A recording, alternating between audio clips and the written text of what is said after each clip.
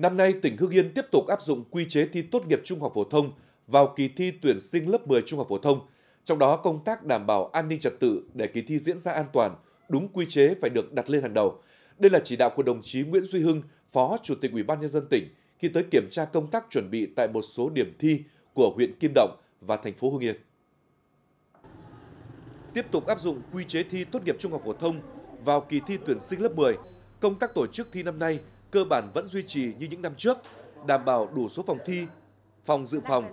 tủ đựng đề thi, tủ đựng bài thi, lắp đặt camera giám sát có thể hoạt động ngay cả khi mất điện. Dù dịch bệnh COVID-19 đã được kiểm soát, nhưng công tác phòng chống dịch vẫn được các nhà trường nghiêm túc thực hiện. Lấy kinh nghiệm của các cái kỳ thi trước là đảm bảo được à, cái 5K chuẩn bị đầy đủ các cái thiết bị phòng dịch nếu như có thí sinh mà diện F0 mà các em à, đồng ý tham gia kỳ thi thì chúng tôi sẽ có phòng riêng, cán bộ coi thi sẽ được mặc đồ bảo hộ và thực hiện các cái quy trình phòng dịch à, như của Bộ Y tế à, quy định.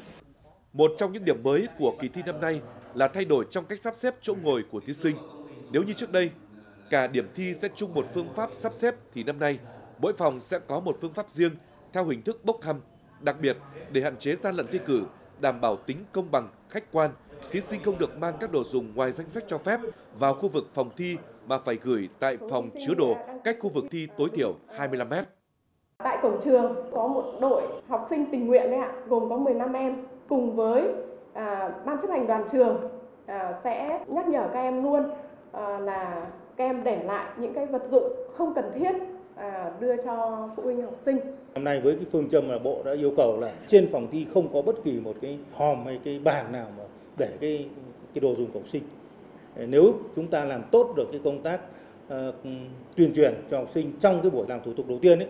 là học sinh không được mang cái gì vào. Còn nếu không thì chúng ta sẽ phải có một khu vực chứa rất là nhiều trong vòng khoảng độ nửa tiếng đồng hồ lúc đầu liên quan đến cái trang thiết bị cũng rất là khó khăn. Đây cũng là kỳ thi diễn ra trong trạng thái bình thường mới sau 2 năm phải tổ chức trong điều kiện dịch bệnh.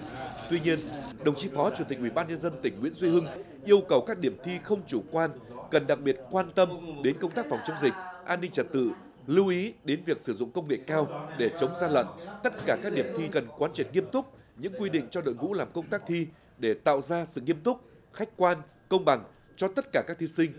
Kỳ thi tuyển sinh lớp 10 sẽ được tổ chức vào ngày mùng 7 đến ngày mùng 9 tháng 6.